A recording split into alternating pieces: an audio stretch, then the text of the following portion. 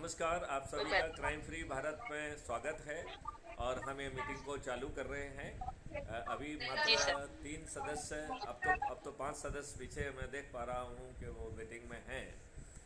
तो मैं आप सब लोगों को धन्यवाद देता हूँ कि आप लोग बड़ी मेहनत से काम कर रहे हैं और हम हज़ार का आंकड़ा अभी इतने जल्दी हम लोगों ने छू लिया है। हम लोग उसके बहुत नज़दीक हैं।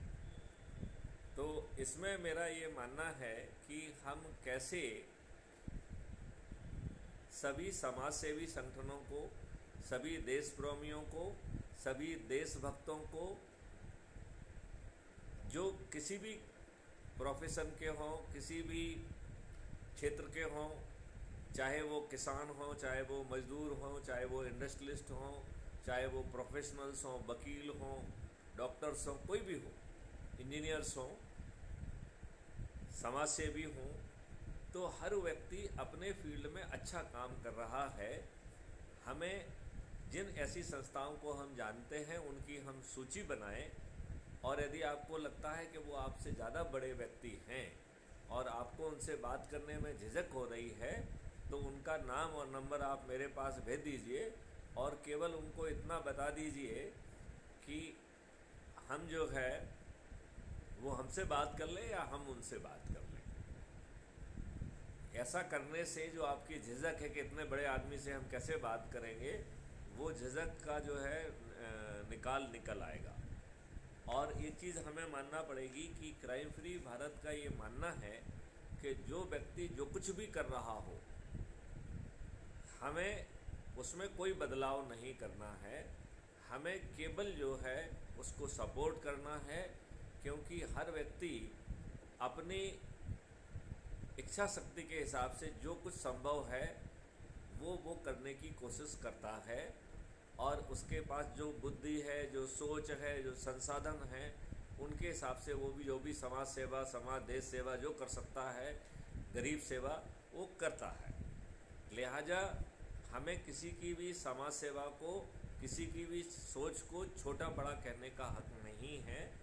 हमें उन सभी की स्तुति करना है, प्रशंसा करना है और अपने साथ जोड़ना है, क्योंकि आइसोलेटेड होकर हम में से कोई भी लक्ष्य भेदन नहीं कर पाएगा।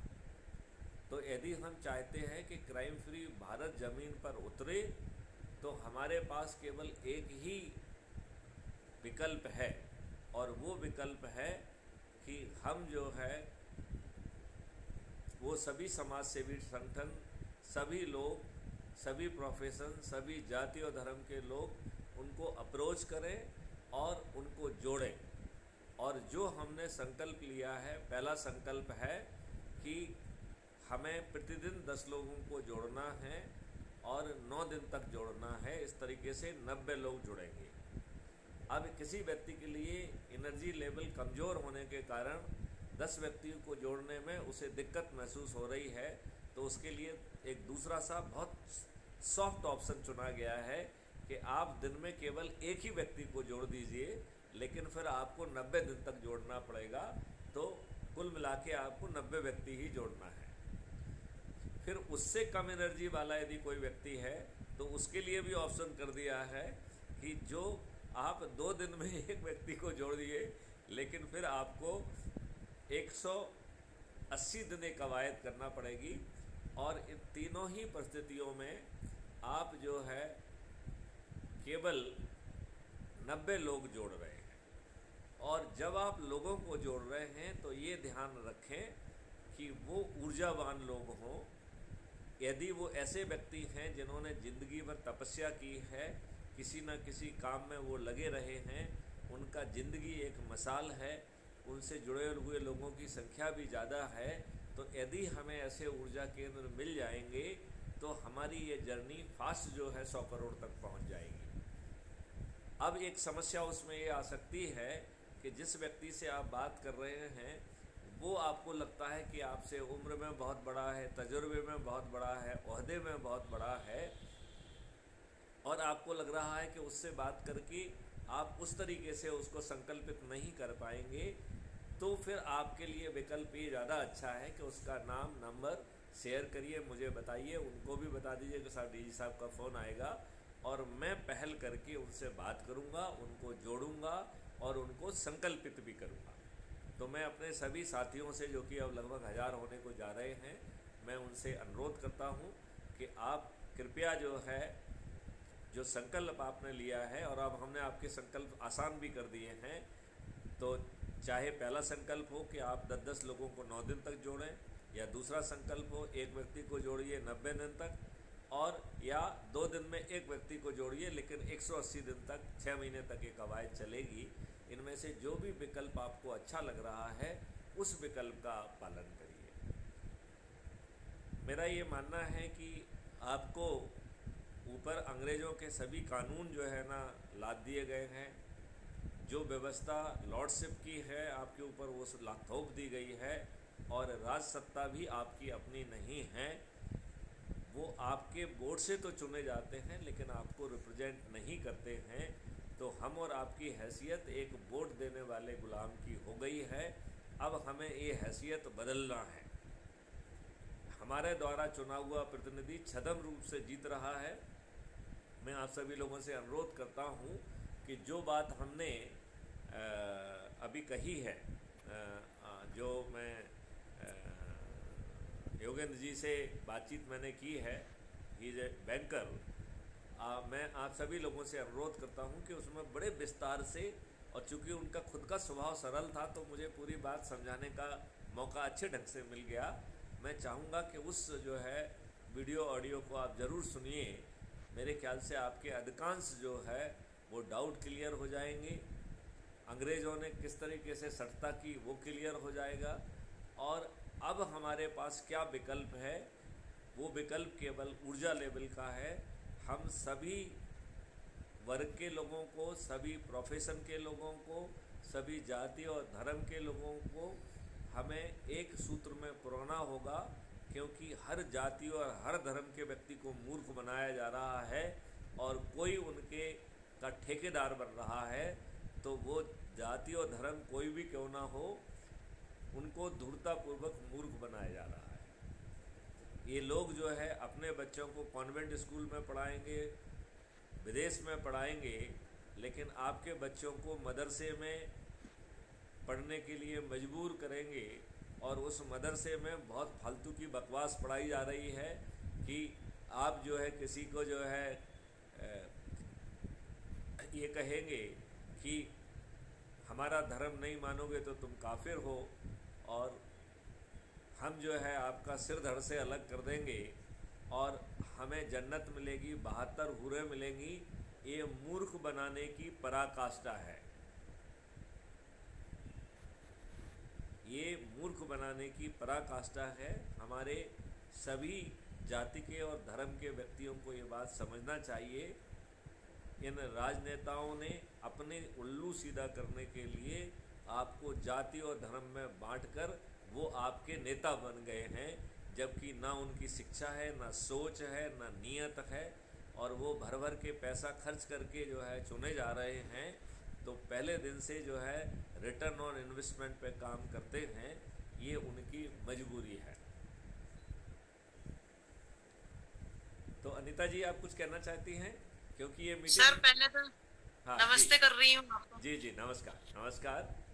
आज का आपने वो सेशन देखा है जो आ, हमने जिसमें आ, सभी समाज सेवी संगठनों सबको जोड़ने की बात कही है। हाँ, देखा देखा। देखा है। कैसा लगा मैंने जब ड्यूटी में फ्री थी मैं हाँ। उस समय मैंने देखा तो थोड़ा बच गया था। अच्छा। तो अभी मैं रात को अभी कंप्लीट करूँगी उसको। इसीलिए वो मैं लाइक नहीं कर उसके पाई। जितना मैंने उसके साथ में एक ऑडियो है जिसका हमने नाम दिया है कांग्रेस का भंडाफोड़ हाँ मैंने देखा मुझे अच्छा लगा। हाँ। पर अभी कुछ जैसे राजनीतिक चीज़ों पे आप बोलते हैं ना तो चूँकि मैं अभी जॉब में हूँ तो एक मर्यादा के अंदर उसको वो मतलब लाइक नहीं, नहीं कर पाती हूँ देखिए हम ऐसी कोई चीज़ नहीं बोलते हैं जो आपके कंडक्ट रूल का वायलेशन है। मैं स्वयं जो है एक अधिकारी रहा हूँ शीर्षस्थ पद पर रहा हूँ। मैं मुझे इस बात का हमेशा ध्यान रहता है कि हमसे सभी तरीके के लोग जुड़े हैं जो जी जी। अभी शासकीय सेवा में हैं वो भी जुड़े हुए हैं। और इसलिए हम बार बार कहते हैं ना तो हम किसी हाँ। कानून का उल्लंघन करेंगे ना किसी कंडक्ट रूल का उल्लंघन करेंगे और आपको किसी दिक्कत में नहीं फंसाएँगे। आपके विरुद्ध कोई फर्जी मुकदमा कायम नहीं कर सकता है कोई फर्जी कार्रवाई नहीं कर सकता है। और यदि हमने संकल्प लेके नौ दिन तक यदि ये जोड़ लिया है लोगों को तो दसवें दिन आपके विरुद्ध कुछ नहीं बिगाड़ सकता है। बसरते हम वो नौ दिन के संकल्प को पूरा कर लें। तो उसको क्या लाइक कमेंट्स इसलिए नहीं किया कि वो कांग्रेस की नेता की बात थी? तो मैंने लाइक कमेंट्स नहीं किया उसको नहीं, नहीं, कोई बात नहीं है। इसकी कोई ज़रूरत तो अगर मैं कर दूँ तो कोई दिक्कत तो नहीं है। समझना चाह रही है। अरे भाई आप तो कमेंट कर रहे हैं। उन्होंने तो यथार्थ में कर दिया। नहीं सही बात कहने में कोई दिक्कत नहीं है पर सर अभी मैं बहुत मानसिक रूप तो से परेशान हूँ। लाइक कर रहे हैं या कमेंट कर रहे हैं सामने वाले ने तो वो सीधा सीधा घपला कर दिया। सामने वाले ने तो सीधा सीधा आपके ऊपर गुलामों के नियम थोप दिए। उन्होंने तो सीधा सीधा जो व्यवस्था है जो कि आपके ऊपर शासन करने के लिए बनाई गई थी जो कि लॉर्ड थी they are not accountable to it you और वो निर्णय लें गलत निर्णय लें उनकी मर्ज़ी और आप जो है एक गुलाम जैसी आपकी हैसियत उन्होंने तो बना दी और ख़ुद तो सत्ता का भोग सोखा लेकिन आपको उन्होंने एक गुलाम बना दिया और उल्टी आपको जो है घुट्टी पिला दी कि आप स्वतंत्र हैं और इसलिए हमें वोट दीजिए जबकि उन्होंने ये नहीं कहा कि हमने आपको महागुलाम बना दिया।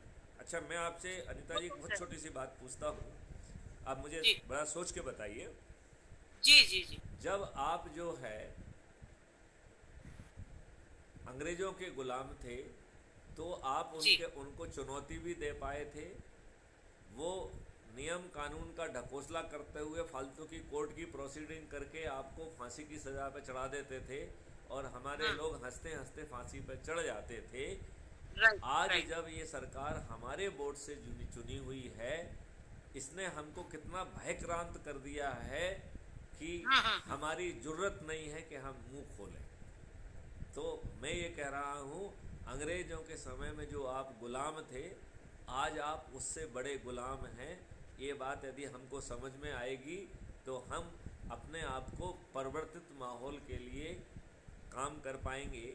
और हम तो आपको ऐसा मॉडल दे रहे हैं जिसमें आपको कुछ करना ही नहीं है। ना आपको कोई रिस्क लेना है, ना चक्का जाम करना है, ना जुलूस निकालना है, ना दिल्ली जाना है, ना चंदा देना है। केवल जब समय आएगा, और वो भी तब जब सौ करोड़ हो जाएँगे।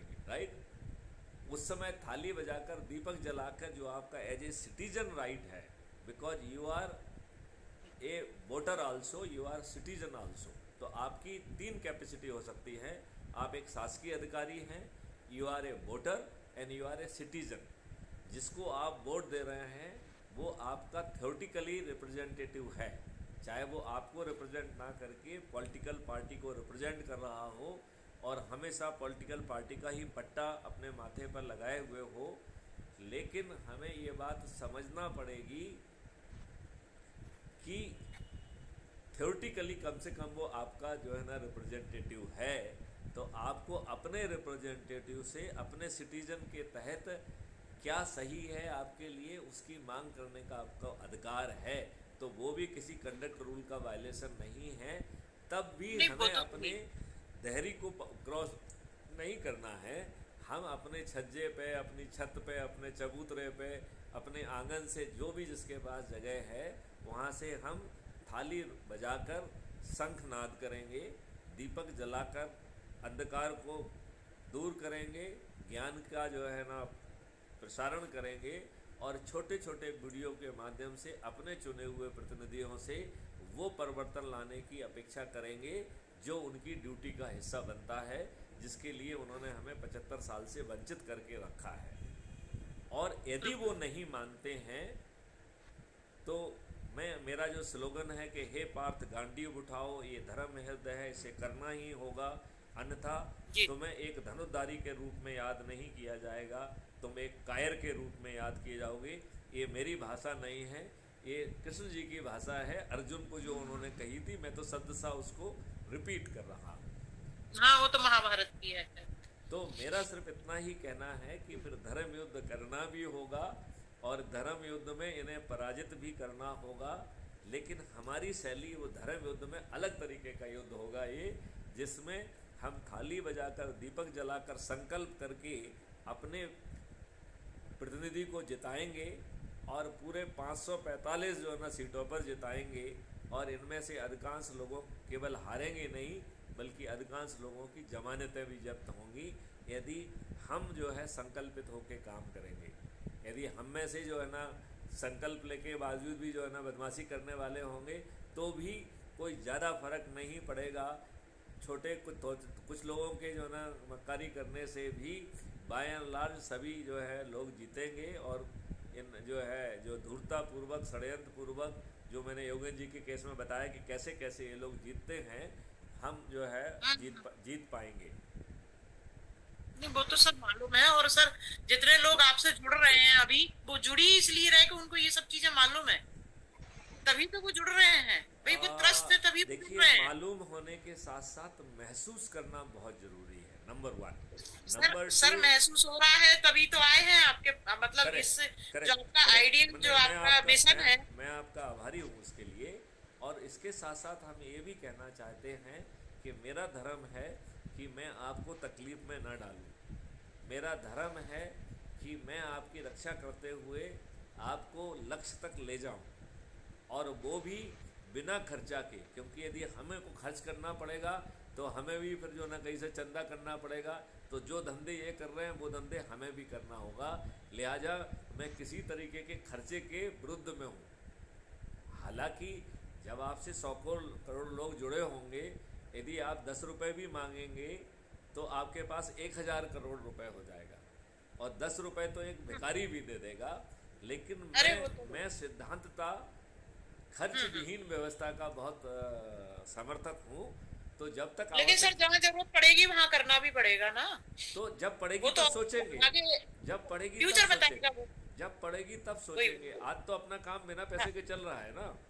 नहीं वही तो कह रहे कि अभी तो अपन चल रहे हैं। जब आगे ज़रूरत पड़ेगी तो परिस्थितियों को देखते हुए एडजस्ट करेंगे। भाई आपसे जो है ना जुड़ने वालों की संख्या दिन प्रतिदिन बढ़ रही है। मैं तो कहा यदि आप सौ करोड़ पे पहुँचे हैं और मात्र दस रुपए जो कि एक भिखारी भी दे सकता है आपके पास एक हज़ार करोड़ रुपए होंगे। तो धन की चिंता क्यों करना है? धन की चिंता नहीं करना है। धन लेने के लिए तो आपको जो है ना अडानी और अंबानी की ज़रूरत नहीं पड़ेगी। राइट तो मेरा केवल इतना ही मानना है कि हम सब लोगों को और स्पेशली जो जरा थोड़ा से सीनियर टाइप के हैं जैसे हमारे सालिक राम जी है आप भी हैं मैं प्रार्थना करूँगा कि आप लोग सूची बनाइए। और सूची बना के जो है, हर व्यक्ति को, जो भी, जो कि हम में से हर कोई कुछ ना कुछ अच्छा काम करने की कोशिश कर रहा है, हर अच्छे काम करने वाला व्यक्ति के अंदर कुछ ना कुछ अच्छा है। और उसकी वर्षों की तपस्या है। यदि हम इन तपस्वियों को जोड़ लेंगे तो हम जल्दी से सौ करोड़ तक पहुँच पाएँगे। और फिर जो है, हम शासन और प्रशासन को कुछ भी गलत नहीं करने देंगे, बल्कि उल्टा उन्हें हम प्रेरित करेंगे कि जो हमारी सोच है, उसके अनुरूप नियम कानून बनाए वो। हालाँकि वो अपराधियों को दुबले पतले चरित्र के लोगों को टिकट बांट के उनको इकट्ठा किया है तो वो कितनी हमारी बात मानेंगे, मैं विश्वास से नहीं कह सकता हूँ। यदि वो हमारी बात नहीं मानेंगे, तब हमें उन्हें पराजित करने के अलावा और कोई विकल्प हमारे पास शेष नहीं रहेगा लिहाजा हम उस विकल्प को एक्सरसाइज करेंगे। और हमारे जेहन में हमेशा ये बात रहेगी कि यह ये धर्म युद्ध है। तो कृष्ण भगवान ने जो कहा है हे पार्थ गांडी उठाओ। यह धर्म युद्ध है इसे लड़ना ही होगा। अन्यथा तुम एक धनुद्धारी के रूप में नहीं जाने जाओगे। दुनिया तुम्हें एक कायर के रूप में याद करेगी। तो यदि कुछ गड़बड़ हो रहा है इस देश के साथ तो हमें जुड़कर, हमें जो है उस अव्यवस्था को ठीक करना ही होगा। ये लोग हमको बुद्धू बना रहे हैं, जाति और धर्म के आधार पर लड़ा रहे हैं और हमारा एक्सप्लाइटेशन हो रहा है और ये सब लोग हमें गरीब भी बनाना चाहते हैं और दारूखोर भी बनाना चाहते हैं, जिससे हमारे वोट को ये फ्री भी पैसे बांटकर, साड़ी बांटकर और दारू बांटकर खरीद सकें।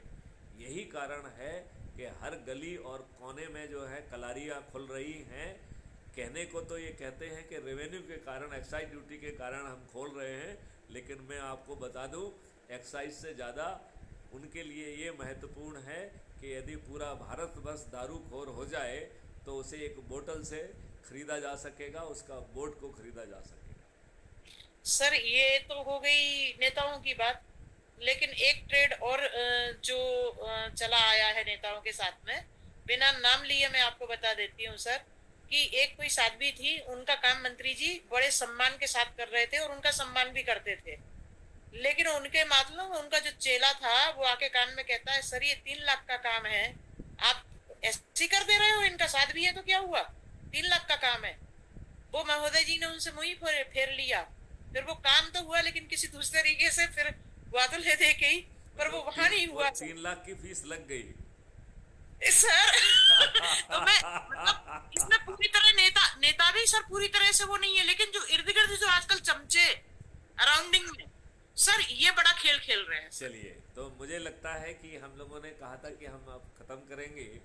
तो सालेग्राम जी को और मिस्टर अली को मौका देते हैं कि वो एक एक दो दो लाइन में कुछ कहें और जो मैंने अभी आह्वान किया है मुझे विश्वास है कि वो उसे सुन रहे होंगे तो उसको ज़मीन पर उतारने में वो अपनी पूरी शक्ति लगाएँगे। अभी उन्होंने जो है दिन में एक व्यक्ति को जोड़ने का जो संकल्प जो दूसरा विकल्प था मुझे लगता है सालिक राम जी ने उसे एक्सरसाइज कर लिया है क्योंकि मैं हर दिन देखता हूँ एक व्यक्ति उनकी तरफ़ से जुड़ रहा है। आज आज तो दो हो गए सर। अच्छा आज दो हो गए चलो गुड थोड़ा बहुत चलता रहता है सर। गुड गुड गुड नहीं लेकिन। लेकिन हमारे और आप में एक फ़र्क ये आएगा कि हम जो है ज़्यादा जो ऐसे तपस्वी लोग हैं जिनकी ज़िंदगी भी अपने आप में एक तपस्या रही है और उन्होंने अपनी मेहनत से बहुत सारे लोगों को लाभ पहुँचाया है और उस समय उनका एरिया ऑफ़ इन्फ्लुएंस बहुत हायर है यदि हम उनको अपने साथ जोड़ लेंगे तो उनके कार्य में भी सुगमता होगी और हमें भी उसमें फ़ायदा मिलेगा हाँ ऐसे ही लोगों को ज़्यादा अप्रोच करना है अप्रोच करना है। ऐसे ऐसे लोगों को। हमारा काम सुलभ हो जाएगा और जी हाँ। और इस तरीके की मीटिंग में जब वो लोग आके बोलेंगे तो उनसे जुड़े हुए लोग जो हैं उनके ऊपर बहुत सकारात्मक असर आएगा। और उनसे तो हम जो है ना इस मीटिंग के साथ साथ जो है अलग से जैसे आज हमने स्ट्रीम यार्ड पर मीटिंग की थी वैसी मीटिंग जो है ना होना चाहिए और उनसे बातचीत करने में भी मज़ा आएगा। जैसे जो योगन जी से जो आज बात हुई है उसमें मुझे हाँ। आनंद आया। हाँ वो बहुत अच्छा वीडियो हाँ, बनाया आपका। हाँ, हाँ, वो वो जो है जो स्ट्रीम यार्ड पे हमारी बात हुई है जो यूट्यूब पे आप लोगों ने देखी है उसमें जी, जो जी. है उतना आनंद नहीं आया जो योगेंद्र जी से बात करने में आनंद आया। अच्छा सर। ठीक तो, है मैच्योर्ड आदमी जो आदमी एक्टिविटी में रहता है ना सर वो तो उसके व्यू भी अच्छे होते हैं और बात भी अच्छी होती है। बिल्कुल तो उसका कुछ ना कुछ इम्पैक्ट होता है। बिल्कुल सही है। तो फिर जो सुनने वाले वो सुनने वाले हैं ना वो भी प्रेरित होते हैं। प्रेरित होते और ये ये काम ही प्रेरणा का है। कोई किसी से हो रहा है कोई किसी से हो रहा है हर हर टाइप के लोग हैं। अलग अलग थिंकिंग के हैं। अब कौन किसकी बात पकड़ ले ये देखने की बात होती है। और कई और कई बार क्या होता है जब आपका आइकॉनिक जिसको आप रिस्पेक्ट देते हैं जब उस बात को कहता है तो उसका ज़्यादा असर पड़ता है। यही कारण है जो गुरु लोग हैं ये कुछ किसी का भी कुछ कह देते हैं तो उसका ज़्यादा असर पड़ता है। जी हाँ जी हाँ ठीक है ना? तो ये क्या कहा जा रहा है उससे ज़्यादा कौन कह रहा है वो बहुत महत्वपूर्ण होता है। बिल्कुल बिल्कुल देखिए मैं आपको एक कहानी सुनाता हूँ। एक माता राम थी उनका लड़का खाना खाते वक्त फैलाता था। तो वो बड़ी दुखी थी उन्होंने उसको डांटा डिपटा जो कुछ भी कर सकती सब किया लेकिन वो बच्चा तो खा जो है खाना फैला के ही खाता था। बहुत दुखी हुई उनको जो कुछ भी बन पड़ता था उन्होंने कोशिश किया लेकिन उस बच्चे पे ढिले भर का असर नहीं पड़ा। तब उस समय एक जो है कोई साधु महोदय गाँव के बाहर मंदिर पे रुके हुए थे तो किसी ने पड़ोसी ने कहा कि माता राम आप उनके पास जाइए वो बड़े सिद्ध पुरुष हैं। और वो बच्चे को समझाएँगे तो ज़रूर असर पड़ेगा। तो माता राम गई उन्होंने अपनी पूरी पीड़ा बताई। तो उन्होंने कहा माता राम आज जो है मंगलवार है आप ऐसा करिए अगले मंगलवार को आ जाइए तो हम इस बच्चे को समझा देंगे। सुधार देंगे। हाँ, समझा देंगे ठीक है ना? तो माता राम जो है ना दूसरे मंगल को पहुँची। तो फिर वो पंडित जी ने कहा कि अभी कुछ गड़बड़ है थोड़ा सा आप ऐसा करिए अगले मंगलवार को तो माता राम अगले मंगलवार को पहुँची तो उसने साधु जी ने जो है उसको एक पटे पे अच्छे से आसन लगा के उसको बिठाया और कहा बेटे अन्न जो है देवता होता है उसको फैलाने से पाप लगता है अन्न देवता का अपमान होता है इसलिए बेटे अन्न को फैलाया मत करो। और चमत्कार हो गया वो बच्चा सुधर गया। तो अगले मंगलवार को फिर जो है माता राम पहुँची कि मैं आपको धन्यवाद देने आई हूँ कि मेरा बेटा सुधर गया। और साथ में मुझे एक जिज्ञासा भी है कि इतनी ही बात कहनी थी आपको तो आपने मुझे दो मंगलवार क्यों परेशान किया? तो उन्होंने कहा माता राम मुझे लग रहा ये दोष मुझमें भी था। मुझे लग रहा था कि एक सप्ताह में मैं अपने आप को सुधार लूँगा। तो जब आप दूसरे मंगल को आई तो मुझे लगा कि हमें सुधार तो 90 परसेंट आ गया है 10 परसेंट कमी अभी रह गई है। तो जब चूँकि मुझे कमी थी इसलिए मैं जो है इसको उपदेश देने के इसको समझाने की मेरी काबिलियत नहीं थी इसलिए मैंने फिर एक सप्ताह का समय और मांगा और पंद्रह दिन में जब मैं सुधर गया तब मैंने उसे समझा दिया और मेरी बात का उसके ऊपर असर भी हो गया। तो यही बात है कि कौन कह रहा है ये बहुत मायने रखता है और उसकी कथनी और करनी में यदि फ़र्क नहीं है तो उसका इम्पैक्ट भी आएगा इम्पैक्ट और और इस बात का भी हमको ध्यान रखना है कि कहते हैं ना कि रस्सी जो है मुलायम होती है लेकिन यदि लगातार हम अपने प्रयासों में लगे रहें तो वो भी निशान छोड़ती है। लिहाजा हमें हार नहीं मानना है हमें अपने डिटर्मिनेशन से लगे रहना है और हमें जो है ना ज़रूर सफलता मिलेगी। सर आजकल तो सर आजकल तो वैसे भी घर के पेरेंट्स की बच्चे बात नहीं मानते। फ्रेंड्स की ज़्यादा मानते हैं। और इसी टाइप से हम लोगों में भी आपस में यही प्रॉब्लम है कि उनकी कथनी और करनी में फ़र्क होता है। खुद खुद हाँ। सिगरेट फूक फूकेंगे और कहेंगे सिगरेट मत पियो। खुद दारू हाँ, पिएँगे कहेंगे दारू मत पियो। तो उसकी कौन बात मानेगा? नहीं इसमें सर है भी सत्यता भी है। गाँव का जो जोगी गाँव वो जोगिया आन गाँव का सिद्ध होता है तो थोड़ा सा इधर उधर वालों की मदद भी लेने पड़ती है। हाँ वो भी कई लोग हैं वो वो भी ठीक बात है वो भी ठीक बात है वो भी ठीक बात है। वो कहते हैं घर की मुर्गी दाल बराबर। साल बराबर हो जाती है। तो इसलिए वो सब सभी तरह से साम दाम दंड वेद इसी को कहते हैं सर। कि आप लोगों को